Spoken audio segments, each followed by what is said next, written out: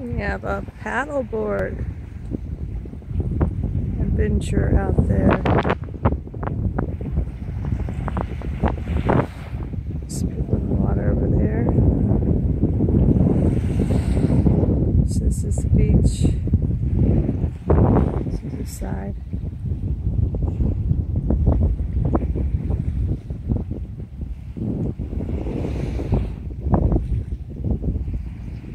Alright, so let's look for some sea glass.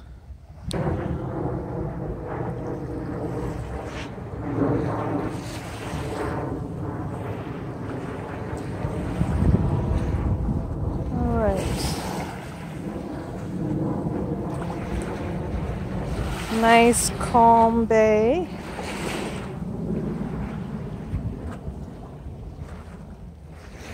It's not real rough. I went through all my white sea glass and I separated well I knew I had I had gorgeous thick pieces. And then I had more thinner contemporary pieces and then small which are tinies and I separated them um, so when I make things I don't have to dig as hard. Not that digging through it is hard but it's better to have a little system. So I have a system for my whites, a system for my greens. Come on, Lord, not one piece of sea glass yet. Out of all these rocks. Let's look up here. Maybe somebody beat me to it. I was waiting till the sun went down a little bit. Here's a piece. Shell. Um, I didn't want to come out here at 12 o'clock in the afternoon. Plus, I was making a bunch of jewelry, things that I have. Um, but I just had to, you know, piece them together and figure out what I wanted to be what. Whether it was a ring or a necklace. I made myself some new pieces. Made a bunch of new pieces for the um, website, online venues. So, that's the fun part, but the pain in the butt part is taking pictures of it all in the box, doing the measurements. um, I think somebody's been here already. I should have found one piece of sea glass by now. Um, taking the pictures of it in the box and then the measurement of how much it how long it is. Putting it online typing in all the description. That's kind of the part that makes you go oh but if you don't put it online it don't sell. So I'm very excited. I made, I showed you guys a bunch of those tiny greens that I made. So I made some tiny, like, blues, like blue cobalt, a couple of light blues. Oh, here's one piece. It's part of a bottle lip. Here's another piece.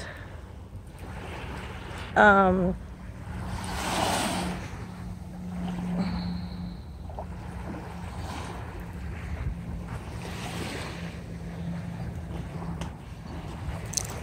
and actually found some reds that I had that I was saving. I said to myself, why are you saving these? Put them, make a jewelry out of them, a pendant, put them online. It needs to go back so someone can buy them. You can't sell them, them just sitting.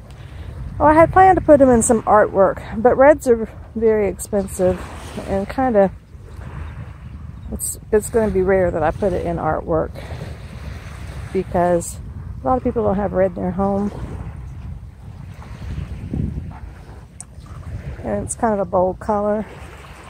And they're so um, extremely rare that for me to put them in artwork um, the pieces that could be jewelry is just a waste of money. So I decided to make tiny splashes of red um, sea glass small little tiny pendants.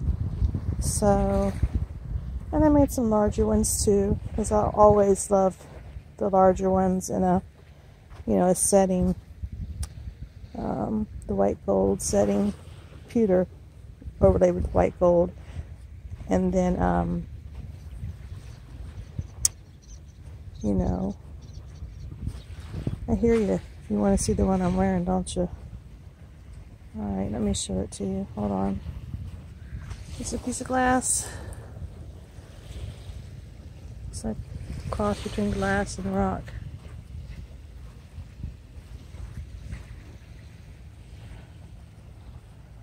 Slim pickings today, Lord. Can you see it?